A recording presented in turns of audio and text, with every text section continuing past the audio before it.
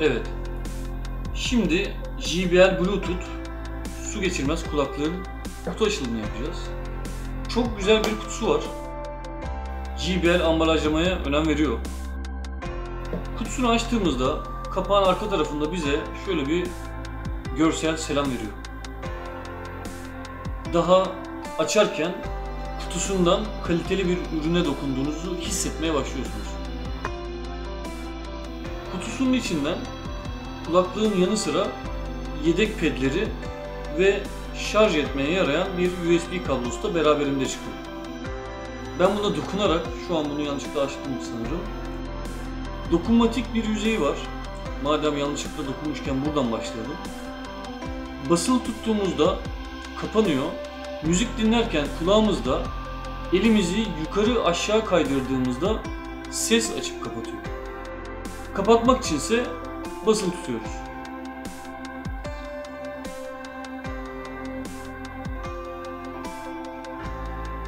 Kırmızı ışık yanıp söndüğünde artık kapanmış anlamına geliyor. Kutumuzda Türkçe dilinde olduğu güvenlik talimatları ve kullanma kılavuzu çıkıyor.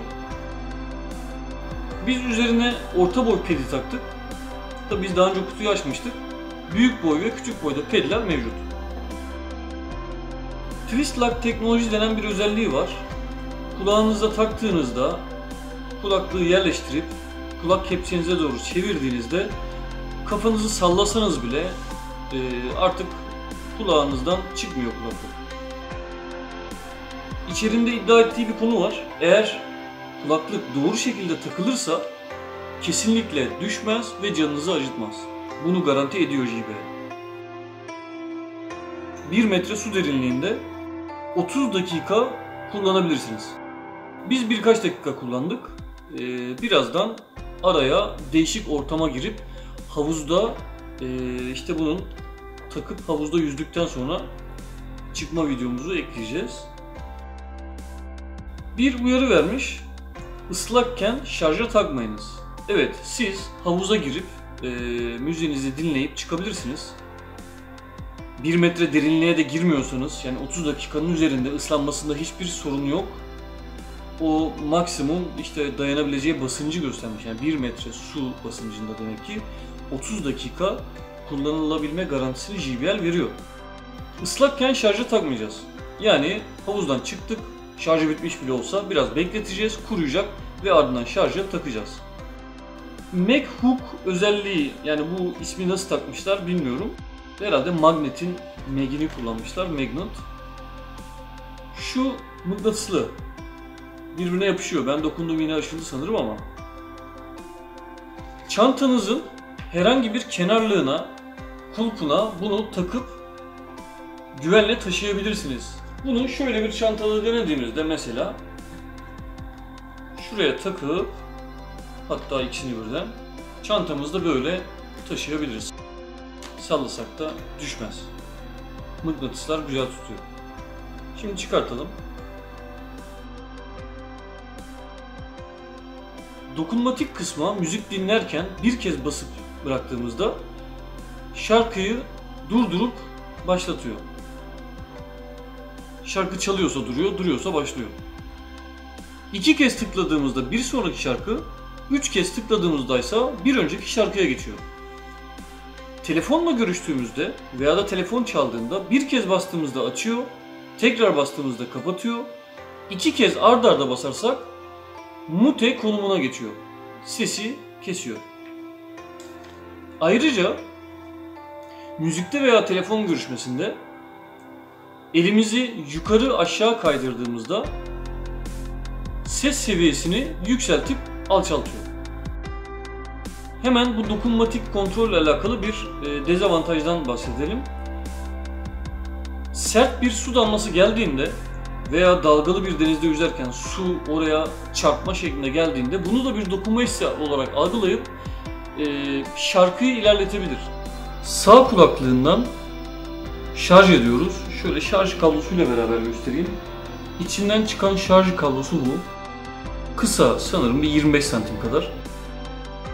Bunu kulaklığın sağ tarafında bir şarj girişi var. Buraya takarak cihazımızı bu kabloyla şarj ediyoruz. Bunu şimdi şöyle bir kenara koyalım. Kulaklığın sol tarafında herhangi bir fonksiyon yok. Yani sol parçasında herhangi bir fonksiyon yok. Tuş yok, dokunmatik özellik yok. Bütün iş sağ tarafında. Mesela cep telefonunuzda bağlayacaksınız. Kulaklığın JBL yazısına biraz basılı tutunca şöyle kırmızı led yanıp sönüyor ve açılmış oluyor. Kırmızı led yanık kaldığı sürece kulaklığımız aktif durumda. Kulaklığımız aktifken işte cep telefonunuzun bluetooth'unu açıp orada işte JBL kulaklık diye görüyorsunuz ve onu kabul ettiğiniz an artık kulaklık bağlanmış oluyor. Bluetooth mesafesini biz denedik. Ee, yaklaşık 7-8 metre hadi 10 metre kadar ileriden e, sinyal almaya devam etti. Siz bunun su geçirmez özelliğinden dolayı havuzda kullanacaksanız telefonunuzu işte şezlongunuza bırakıp çok uzağa kaybolmadan havuzda keyif yapabilirsiniz. Müzik dinleyebilirsiniz. Yalnız dediğim gibi çok uzak mesafelere kadar gitmiyor. Su geçirmezlik özelliğini denedik. Yani biz bu kulaklığı taktık, havuza girdik. Onu da şimdi gösterelim. Bu ara videodan sonra tekrar konuşmaya devam edelim. Evet şimdi Alanya Dim çayındayız. Arkadaşımız Bluetooth JBL kulaklığını takıp çayın serin sularına kendini bırakacak. Buyur Artu. İlk önce bir açalım. Tak bakalım. Şöyle döneyim. Sen tak.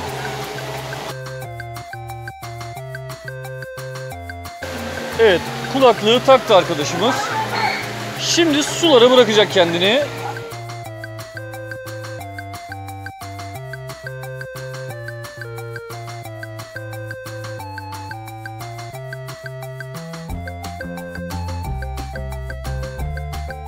Şimdi sudan çıktı kulaklığımız. Halen çalışıyor. Evet, JBL Bluetooth kulaklığımızın en önemli özelliği su geçirmezliği. Bu kulaklık videoda da gördüğünüz gibi kulağınıza takıp rahatlıkla yüzebilirsiniz. Burada gördüğünüz gibi 8 saat pil ömrü var. 10 dakika şarj süresine karşılık 1 saat pil ömrü bulunuyor. Bu da kullanma kılavuzunda yazıyor. Şimdi bu kulaklığı tercih edecek kişi neden tercih etmeli?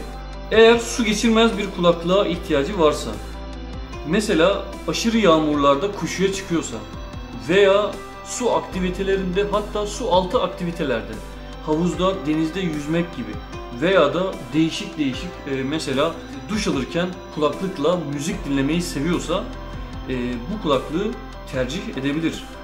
Piyasa fiyatı yaklaşık 350 lira. Eğer bir Bluetooth kulaklık ihtiyacınız varsa ancak su geçirmezlik özelliğine ihtiyacınız yoksa ben bu ürünü tavsiye etmem.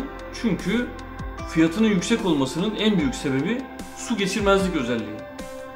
Peki su geçirmezlik özelliği var. Bluetooth ses kalitesi nasıl? Şunu söyleyebilirim. Ee, daha önce tanıttığım Xiaomi kulaklıkla beraber tanıttığım JBL T110 kulaklık videosu var. T110 kulaklıkla kıyasladığımda yani 2 JBL'i burada kıyaslamak istiyorum. T110 ile ilgili söylediğim bütün olumlu özellikler burada mevcut. Tatlı sert bir e, bası var. Rahatsız etmeyen tizi var. Dolayısıyla T110 kulaklıkla ilgili söylediğim olumsuz özellikler ise bu kulaklıkta yok. Yani basları yeterli, ses seviyesi yeterli ve tizleri rahatsız etmiyor. Çok yumuşakça bir bası yok. Yani bu kulaklığı aldığınızda ben zaten dünyanın en iyi ses tonunu alacağım diye bakmayın. Tabii ki işte Pioneer'ın bir e, kulak üstü kulaklığı kadar iyi bir ses vermeyecektir. Yumuşakça bir bas e, alamayacaksınızdır ama e, deneyebileceğiniz özellikle kulak içi kulaklıklar arasında e, belki de en iyisi olacaktır. Hakikaten çok kaliteli bir ses kalitesi var. Özetleyecek olursak JBL Bluetooth su geçirmez bir kulaklık. Bluetooth mesafesi muhtemelen bütün Bluetooth kulaklıklarda olduğu gibidir. Yani çünkü bu telefonun Bluetooth mesafesine de bağlı. Yaklaşık 8-10 metre şeklinde ölçtük ama ayrıntılı bir e, işte metre ile ölçme şeklinde kesin bir ölçme yapmadık. Su geçirmezlik özelliğini havuza girerek denedik. Su geçirmiyor yani hakikaten su geçirmiyor. Bunu tak havuzda yüz, denizde yüz. Zaten kullanma kılavuzunda 1 metre mesafede 30 dakikada e, dayanıklı olduğunu bahsetmiş. Kulaklığı kulağınıza düzgün taktığınızda sallasanız da koşuya da çıksanız e, yani bir yere takılmadıkça ki takılsa bile çıkacağını ben zannetmiyorum. Çünkü mıknatıslı. Su geçirmezlik özelliği var. Bir bluetooth kulaklık ve gerçekten çok iyi denebilecek bir ses kalitesi var. Bu özelliklere göre 350 liranın değeceğini düşünüyorsanız özellikle böyle bir işte sportif aktiviteler, işte suda kullanma ihtiyacınız varsa, işte belirli bir standartta yaşıyorsanız e, 350 lira sizin için çok önemli değilse mutlaka denemeniz gereken bir kulaklık olduğunu söyleyebiliriz. Ama 350 lira sizin için yüksek bir meblağ e, gerçekten sadece bir kulaklık almak için 350 lira bu kulaklığa verilmez. Umarız yardımcı olabilmişizdir. Herkese iyi günler.